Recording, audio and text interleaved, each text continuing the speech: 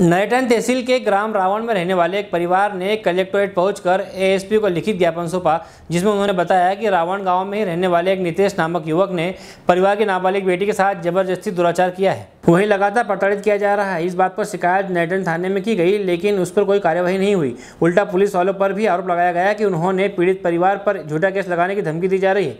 वहीं आरोपी और उसके साथी परिवार के सदस्यों को लगातार धमकी दे रहे हैं कि वो थाने में शिकायत न करें।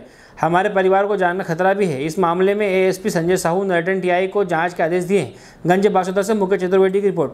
बच्ची का मामला सामने आया है, उसने आवेदन प्राप्त, आवेदन दिया है। अभी ये रावण गाँव के कुछ लोग आए थे और ये एक शिकायत कर रहे थे इसमें थाना प्रभारी नटेरन को जाँच दी गई है और आवेदक की शहरत गांजा पीने की और गांजा बेचने की भी है। इसको लेकर के पुलिस एक दो बार सर्च करने के लिए इनके घर के आसपास गई हुई थी।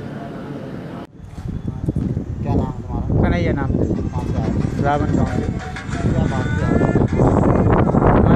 नहीं हुई सर। वहाँ पे हमारी बच्ची के साथ नाइंसाफ़ी हुई छः महीने से उसके साथ नाजाज नाजाज काम भी हुए हैं उसने बताया नहीं साहब नटन रिपोर्ट डालने गए बच्ची की केस घर पे पकड़ लिया था उसको हमको ये जानकारी थी तो घर पे आया था वो ये रिपोर्ट डाले आए थे हम। और उसका मोबाइल पकड़ लिया था घर पे मोबाइल भी थाने में दे दिया साहब। क्या नाम है उसका नीतेश। रहता गाँव में। क्या कर रहा था? कब से क्या? हाँ उसका गलत काम छः सात महीने हो गए साहब उसको गलत कर हमारी छोटी बच्ची है भतीजी है हमारी अभी तेरह हैं? उम्र है चौ बारह की हो चुकी तेरह में चल रही है वो। आपने वहाँ शिकायत की थी कुछ नहीं हुआ। हाँ उससे कुछ नहीं हुआ साहब। वो घूम रहा है हमारे लिए धमकी धमकी मिल रही है आदमी आ रहे हैं घर पे हम घर में से बाहर नहीं निकल पा रहे हैं। तो उसका एस पी साहब हाँ एस पी साहब के पास आए हैं साहब आवेदन देने के लिए।